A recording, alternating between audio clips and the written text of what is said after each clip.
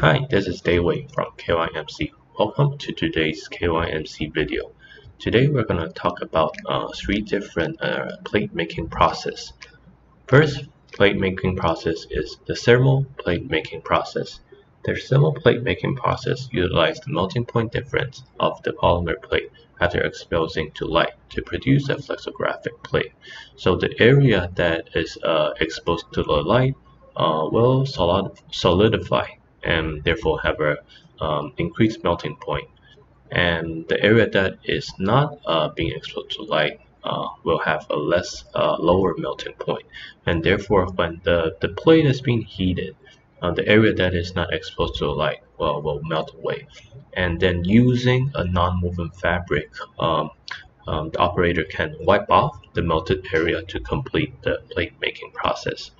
So what is the benefit of uh, the plate, the thermal plate making process?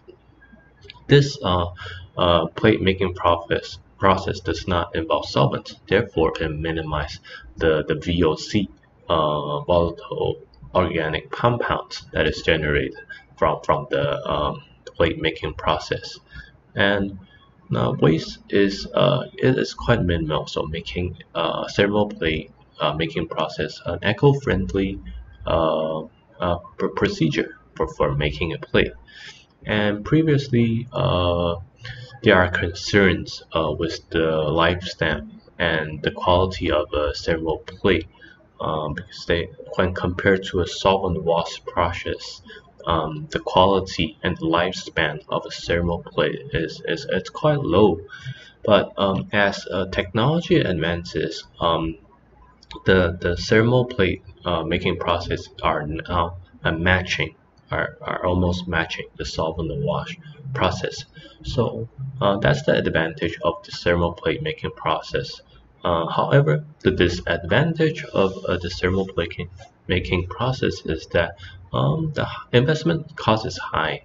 The the the tools the equipment that, that is needed to uh, complete the thermal plate making process is quite high. So if uh, cost is not a concern uh, to you and if uh, the company emphasizes a lot on uh, eco-friendliness, then thermal um, plate making process is an ideal uh, way of producing plates for you.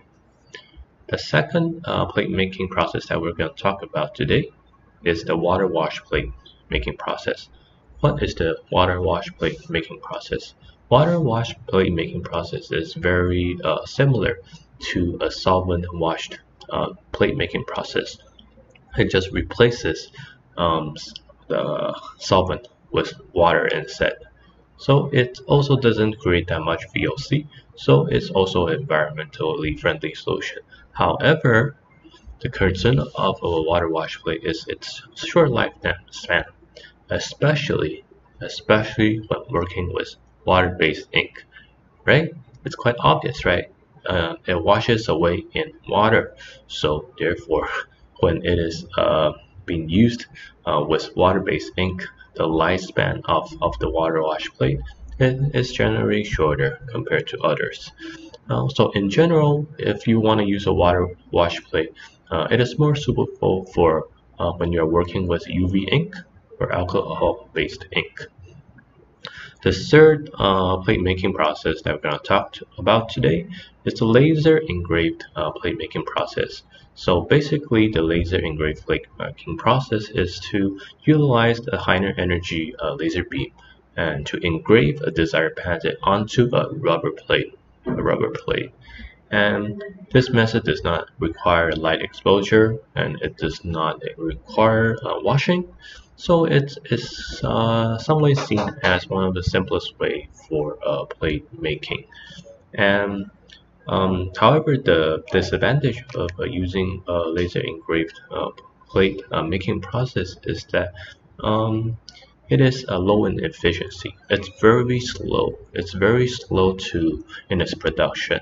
So, for example, how slow is it? Um, the production speed is merely around a 0.5 meter square per hour right? So uh, yeah, it, it's not very efficient. But as we do expect that as technology advances with time, um, this type of plate making process will um, will become more efficient. Okay. Lastly, I would like to draw your attention um, to uh, the chart that we have right now on the screen, uh, which is a comparison chart between the different make plate making process, solvent, servo, water, and laser and uh, their, their, their performance uh, under, under different categories. So what kind of plate washing liquid is used um, for the process, um, plate making process, um, the time needed, the cost involved, the plate lifespan, um, the equipment cost, the VOC emission uh, levels, and uh, the main waste produced from um, this uh, plate making process. Okay uh, you can have feel free to have a look at it and hit pause. And that's the end of this video if you like our videos uh, feel free uh, to uh, give us a thumbs up or uh, follow us on YouTube. And also feel free to put any comments below. Thank you